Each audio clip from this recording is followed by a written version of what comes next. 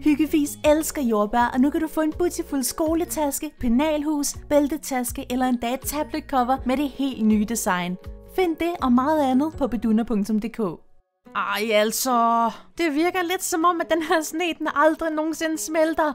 Jeg er nok nødt til at fatte skovlen, og så fjerne det selv. Men halløjs alle sammen, og hjertelig velkommen tilbage til House Flipper. Hold da helt op! I tog så godt imod den sidste havsløbervideo, video, hvor jeg lavede et helt regnbuehus. Og det er også forståeligt nok, fordi I har ventet rigtig længe på den. Men jeg er super glad for, at I var så glade for at se den video. Jeg synes også, det var sjovt at lave, udover det tog lang tid. Og udover at øh, der er sket noget, ikke? Jeg glemte jo lidt det der med, at der også er grøn i regnbuen. Og det er mærkeligt, fordi jeg havde lavet sådan en liste over, hvilke farver jeg ville have med, og grøn stod på listen. Jeg havde så bare lige glemt den, da der rent faktisk skulle inddeles rum. Og derudover, så havde jeg også glemt et køkken ind til slutningen af videoen, og det betød så, at det endte med, at der kom sådan et køkken ned i bunkeren, sådan lidt en slags slavekøkken. Det ved jeg ikke helt, hvor glad jeg var for.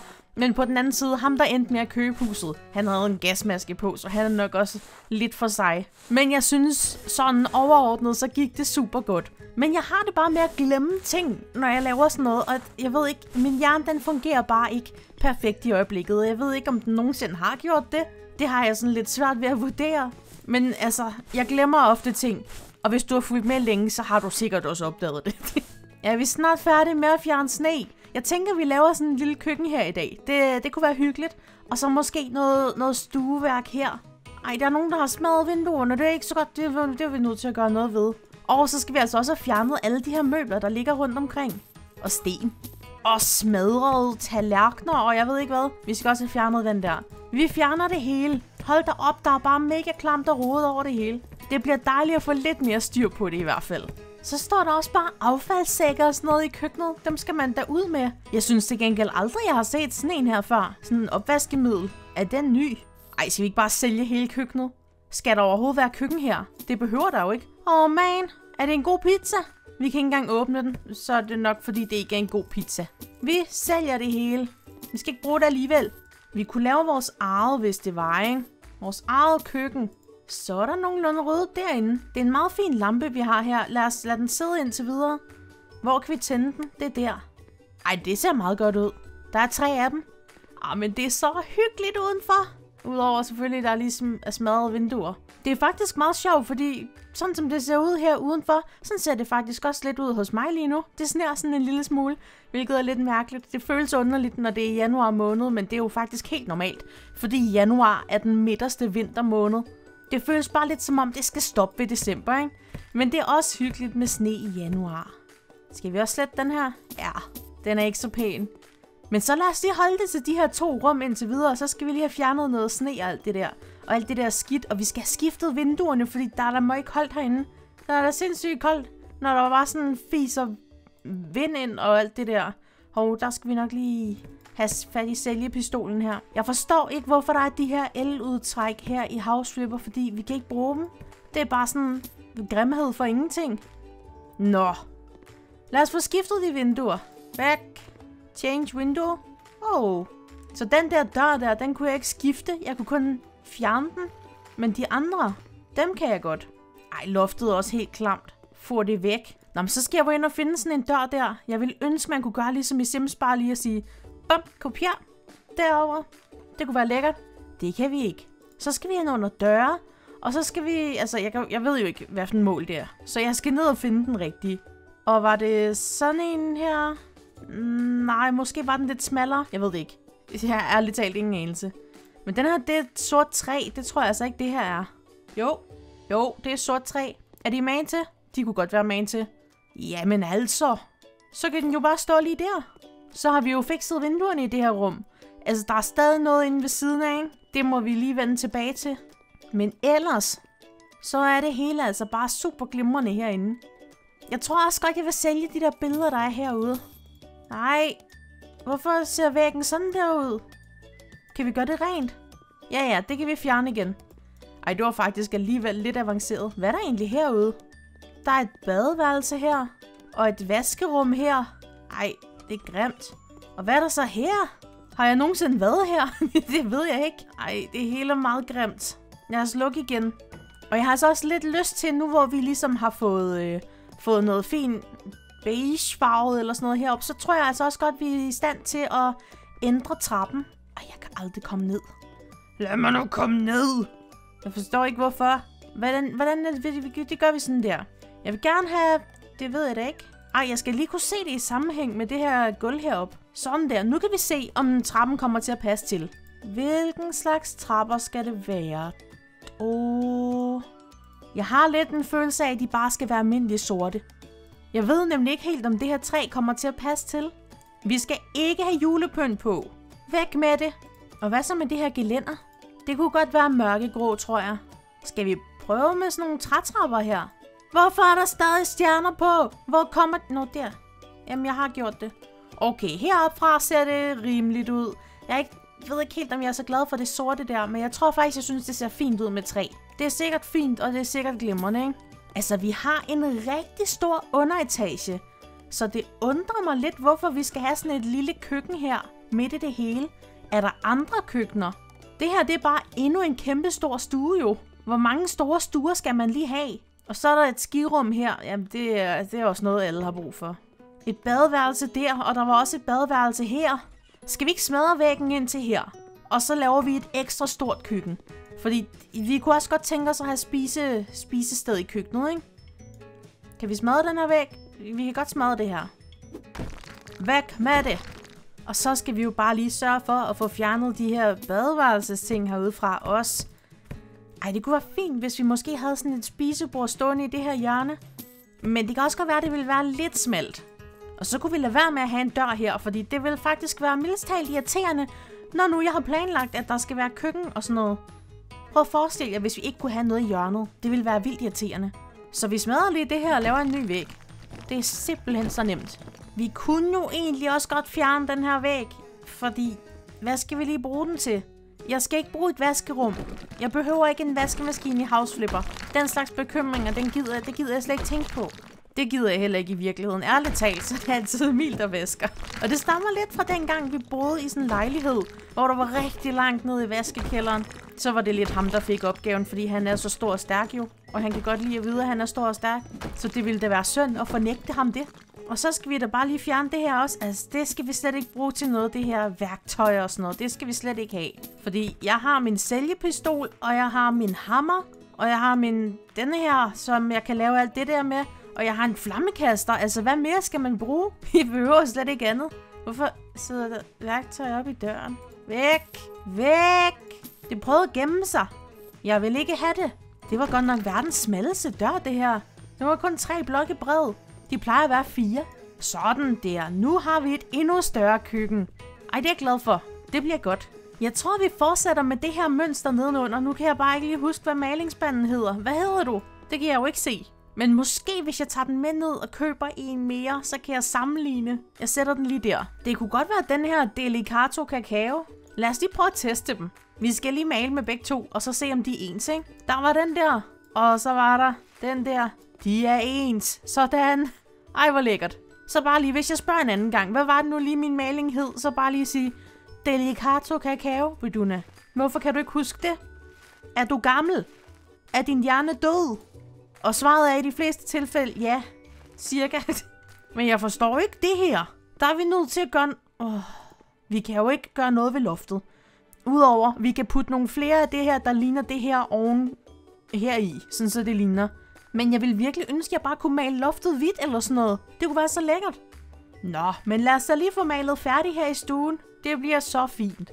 Så skal vi finde ud af, hvad vi skal have i køkkenet, og jeg kunne faktisk godt lidt forestille mig, at det kunne være pænest, hvis I bare fortsat gulvet. Det er jo også noget gulv, man godt kan bruge i et køkken. Det finder vi herinde. Det er simpelthen et lækkert gulv. Hov, der er jo faktisk beskidt. vi skal da ikke have nyt beskidt gulv. Og så skal vi have nogle fliser af en eller anden art. Jeg mener, at dem, der kom med HGTV, at det er bare mine yndlingsfliser. Wall tiles. Øh, der er masser at vælge imellem. Dem her, det er sådan nogle rigtige køkkenfliser. Men jeg tror, det var noget lignende det her, jeg tænkte på. Eller dem der, eller dem... Åh, oh, dem der. Ja, de er simpelthen så flotte. Dem skal vi i hvert fald have noget af rummet. Jeg ved ikke, om vi skal have det i hele rummet. Det må vi lige se på. Det tager 100 år, det her. Så jeg endte med at gøre det ret simpelt herude i køkkenet. Jeg havde ellers sådan en plan om noget... Vent. Det har der ikke været spildt hele tiden. Okay, måske har der. Jeg har prøvet alt muligt her på bagvæggen. Noget snød her, noget snød her, noget snød her. Og jeg synes bare, det blev bedst på den her måde. Jeg har også prøvet alt muligt forskelligt på gulvet. Hvorfor sner det indenfor nogle gange? Det synes jeg måske er lidt trist. Fordi nu har vi jo lige fjernet sne. Nå, det er derfor, der lå så meget sne. Det er fordi loftet er utæt. Det må altså godt stoppe nu. Jeg er færdig med at fjerne sne, ikke? Men jeg tror, vi skal have noget lys op herude. Jeg har ikke prøvet sådan en lampe her endnu. Jeg ved ikke, om det er sådan lidt mærkeligt. Eller om det kunne gå an. Øh, kan jeg lide det? Altså, den lyser jo ikke så meget, men den er ikke vildt grim. Men måske det havde været bedre, hvis den bare var sort, ligesom vinduerne herover. Og så kunne vi have to af dem, og så skal de også hænge sidelæns, fordi det er sådan, man kan se alle deres flotte detaljer. Så lad os prøve igen. Ej, det er cool nok. Det er sådan lidt øh, industrikøkkenagtigt. Og det kunne godt være, at det var lidt sådan en stil, vi skulle gå efter. Hvordan er det nu, det er? Møbler, køkken. Og så kan vi egentlig se, hvad det er, vi skal bruge her. Jeg kan ikke så godt lide alle de nye. Jeg synes, det ligner noget gammelt i havsløber. Åh, oh, men det her det er til gengæld ret cool, at der er sådan et serveringssted på. Men jeg tror ikke, jeg vil have det nye. Jeg tror simpelthen ikke, jeg vil. Det her, ikke? Det er noget, der dur. HGTV. Det var dengang, det var lækkert. Men hvilken farve går vi efter? Måske bare sort? Og så kan køkkenbordet være hvidt af en art. Og så skal vi have gulddetaljer, fordi det, det kan jeg så godt lide, ikke? Ej, det der, det er mærkeligt. Ej, vi skal ikke have gulddetaljer. Det bliver for meget, tror jeg. Simpelthen. Hvid. Ja. Yeah. Ej, det her, det er smukt. Jeg ved ikke helt, om gulvet passer så godt til dog. Jeg tror bare, vi skal have det over i det her hjørne. Og så måske var det ikke herinde, der skulle være spisebord. Måske skal vi faktisk bare have spisebord herude. Så er det en spisestue, vi laver, fordi det er faktisk dumt at mase det hele sammen, når vi har så meget stuepladser nede. Der kunne jo også godt være stue her, men der kunne også godt være et spisebord her til gengæld. Men så skal man gå så langt ud fra køkkenet af. Det har vi ikke taget en beslutning om endnu. Det venter vi lige med.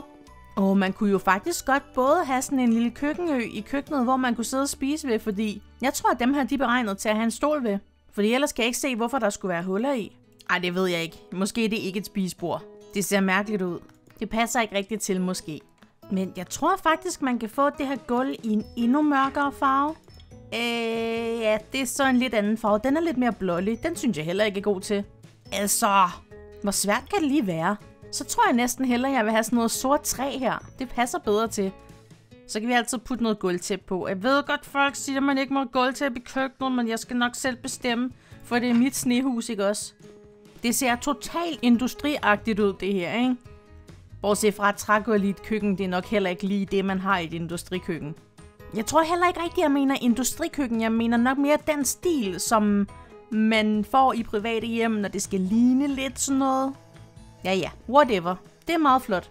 Vi kunne lige overveje, om de nye bord her, det var noget for os. Det kunne være et sort bord med guldben. Ej, hvad? Ej, det ligner det malet gult. Det er slet ikke pænt. Jeg havde også lige glemt, at vi, vi gik sort-hvid i stedet for.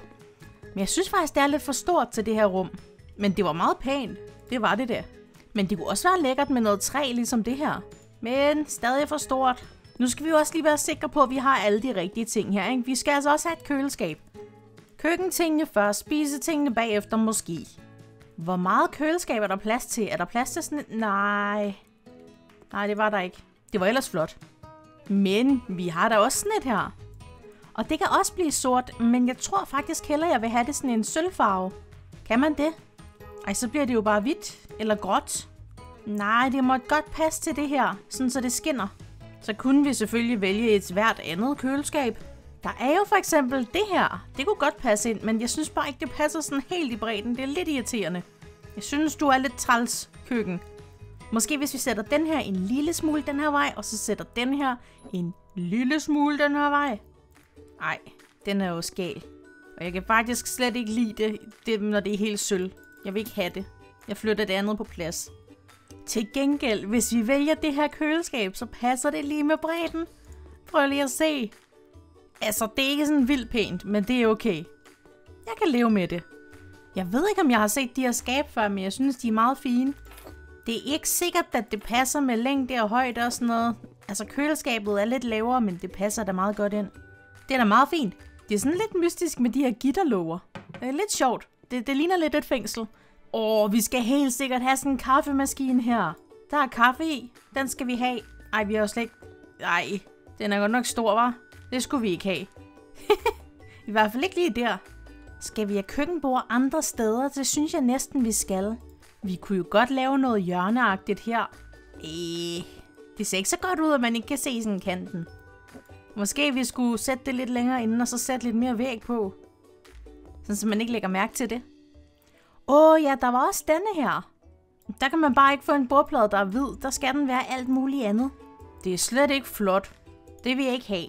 Jeg tror, vi siger, at det bare er pænt sådan her, og så skal vi bare have nogle detaljer herude i køkkenet, sådan så det ser super lækkert og rigtig køkkenagtigt ud. Og så skal vi altså videre.